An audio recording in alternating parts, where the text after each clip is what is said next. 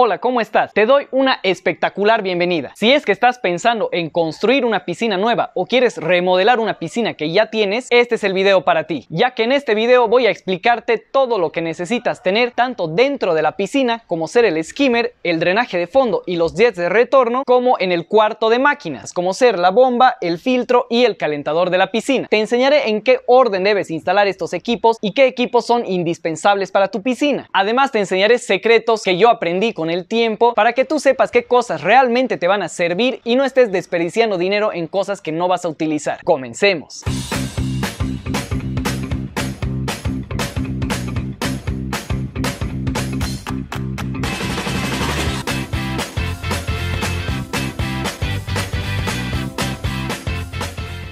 Primero tenemos el skimmer, que será el encargado de absorber toda la suciedad e impurezas que tengamos en la parte superficial del agua. Entrará por acá y el skimmer succionará toda la suciedad para llevarla hacia la bomba y posteriormente hacia el filtro. Es a este skimmer al que además introduciremos la aspiradora de la piscina para poder hacer el correcto aspirado todas las veces que sean necesarias. Muchas personas instalan un punto de aspirado además de instalar el skimmer. Estos puntos de aspirado que dejan en algunas piscinas tienen muchas más desventajas que ventajas. Por ejemplo, cuando hagan recircular el agua para filtrarla o para calentar la piscina, ese tubo será muy peligroso porque cualquier persona que ponga su mano en el tubo se va a hacer doler la mano porque le va a succionar la mano. Pero yo te recomiendo totalmente que no instales un punto de aspirado extra, puesto que la ventaja de aspirar la piscina por el skimmer es que tiene este canastillo que sirve como un prefiltro para que la suciedad no pase directamente hacia la bomba. Cabe mencionar que como puedes ver en esta piscina, el skimmer, que yo lo tengo posicionado donde ves ese cuadradito blanco, debe estar mirando hacia la parte más ancha de patio que tú tengas en la piscina. Nunca debe estar posicionado en la parte delgada que puedas tener en la piscina. Además debe estar posicionado lo más cerca posible a tu ingreso, porque por aquí es por donde tú vas a aspirar la piscina y para lograr un buen aspirado prolijo y manejar de buena manera el telescopio de la aspiradora que es muy grande, necesitas buen espacio de patio y necesitas buena altura al techo entonces, posiciona el skimmer en la parte más cercana hacia tu ingreso. Después del skimmer debes instalar el drenaje de fondo. Este drenaje de fondo debe estar en la parte más baja de la piscina y en la esquina más próxima hacia el cuarto de máquinas. Como puedes ver, yo acá tengo el drenaje de fondo en una esquina que está justamente al lado del cuarto de máquinas. Aquí al lado está el cuarto de máquinas. Este drenaje de fondo sirve para hacer recirculado del agua de la piscina y también para vaciarla. Y como tercer accesorio que necesitas dentro de tu piscina están los jets de retorno. Estos jets de retorno deben estar ubicados en todas las demás paredes de la piscina opuestas al skimmer, puesto que estos jets de retorno cuando hagan recircular el agua de la piscina se encargarán de ir empujando toda la suciedad hacia el skimmer, para que luego esa suciedad sea absorbida por el skimmer y pase por la bomba. Yo en esta piscina tengo cuatro jets de retorno,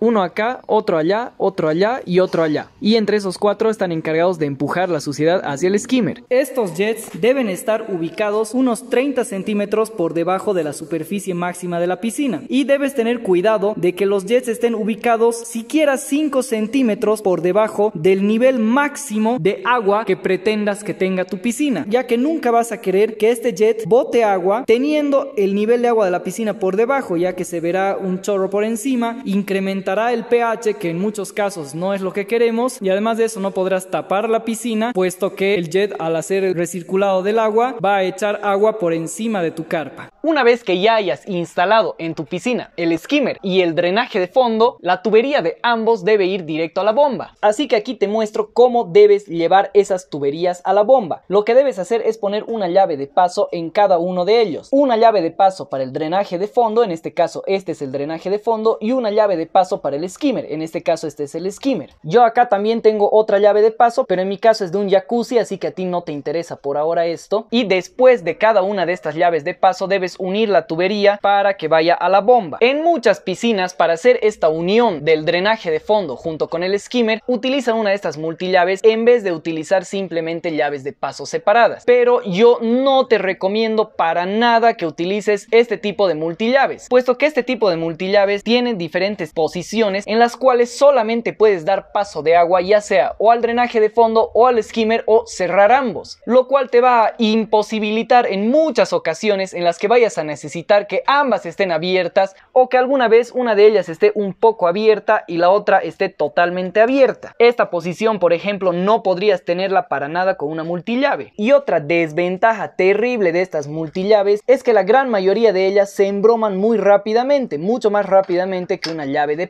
Es por eso que después con el tiempo, cuando tú pongas la posición en la que dé paso solamente del skimmer, por ejemplo, para aspirar la piscina, puede que deje un cierto paso de agua de la llave del drenaje de fondo y de esa manera pierdas presión de aspirado y no llegues a aspirar satisfactoriamente la piscina. Y bueno, después de darte ese consejo que cada uno tenga su propia llave de paso, viene la bomba. Para ingresar a la bomba, obviamente debe ingresar por la parte lateral de la bomba. En especial la bomba que vaya en el cuarto de máquinas debe estar en un punto más bajo que el nivel de la piscina. Esa línea rajada que tú ves en la pared es el nivel más bajo de esta piscina y la bomba está en un punto más bajo que ese, porque así nunca vas a tener que cebar la bomba, que significa introducirle agua dentro de la bomba para tener que hacer que funcione y siempre se va a cebar sola. Y si no podrías poner la bomba en un punto más bajo que la piscina, mínimamente asegúrate que la bomba no esté por encima del nivel máximo de agua de la piscina. Así te evitarás muchos problemas. Y esta debe ser una bomba prefiltro. ¿Y qué quiero decir con una bomba prefiltro? Pues justamente es una bomba, como el nombre indica, prefiltro, que tiene acá un prefiltro, es decir, un canastillo. Déjame te muestro en esta bomba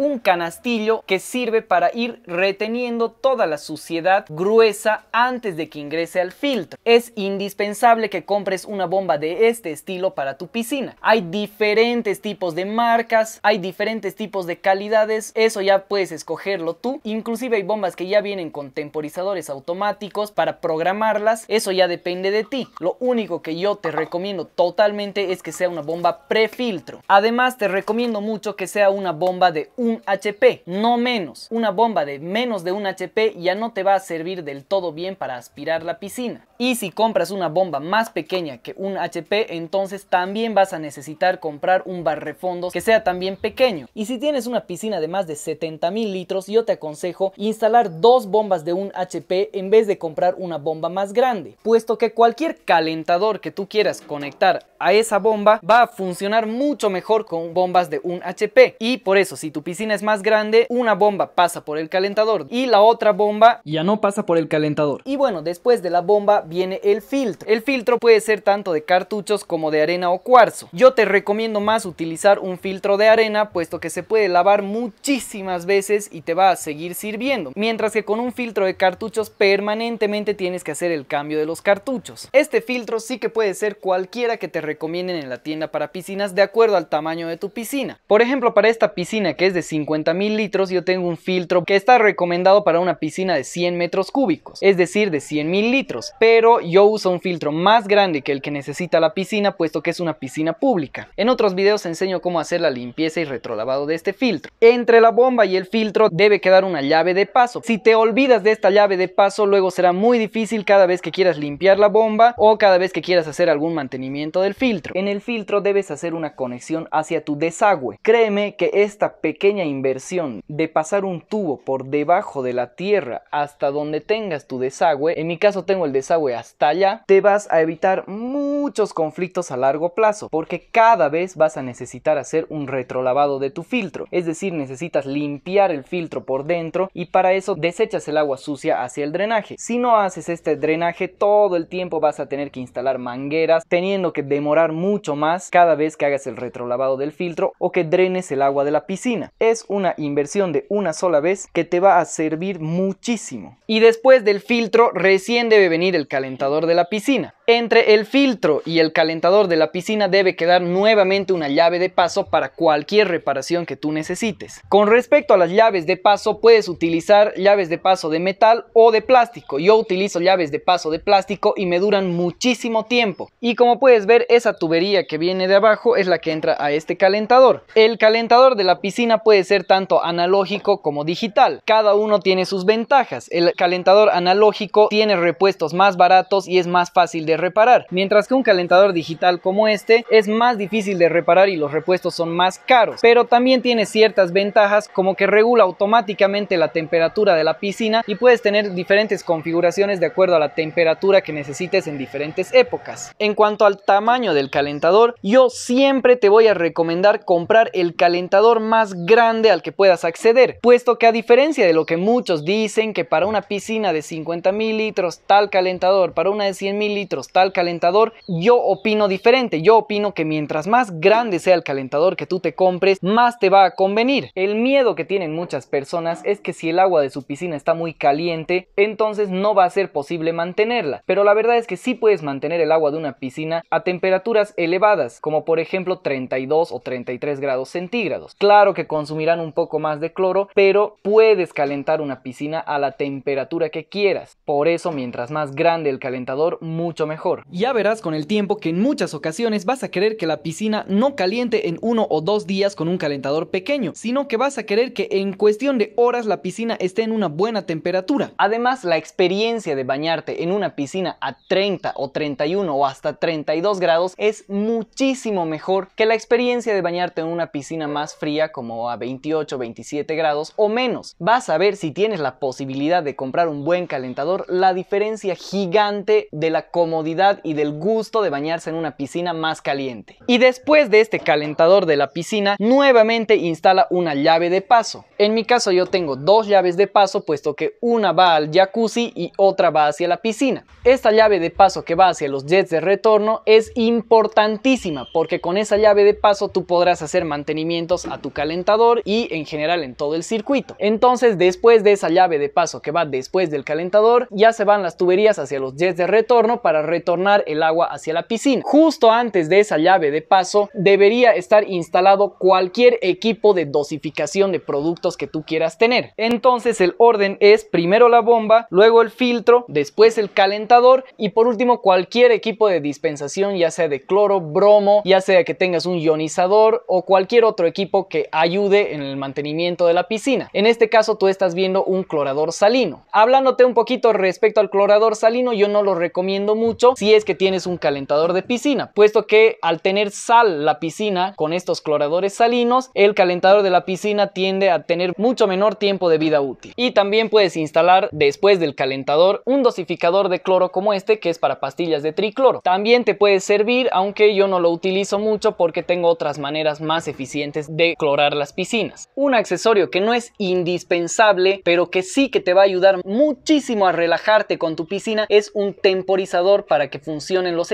Este temporizador lo que hará es encenderse cada día en las horas que tú lo programes. Así que si no quieres estar teniendo que despertarte a ciertas horas y estar pendiente a qué hora encender y apagar la bomba, lo cual es un martirio, te aconsejo mucho comprar un temporizador de bomba. A ese temporizador de bomba deberías conectar tanto la bomba como el calentador de la piscina. Y si es que tienes un clorador salino como el que yo tengo acá, también deberías instalarlo al temporizador. Un aspecto importante del cuarto de máquinas es que no necesita ser un ambiente cerrado. Como tú puedes ver acá, yo tengo el cuarto de máquinas al aire libre. Lo único que necesitas es cubrir a las máquinas de la lluvia. Mientras lo hagas, no necesitas cubrir las máquinas del viento ni del exterior. Y eso es todo por este video. Espero que ya sepas cómo hacer toda la instalación de tu piscina y los equipos que vas a necesitar. Si te gustó el video, suscríbete a este canal, ya que subiré un video nuevo cada semana con información valiosísima para ti. Además, déjame en los comentarios cualquier duda o pregunta que tengas. Con mucho gusto te la aclararé. Nos vemos.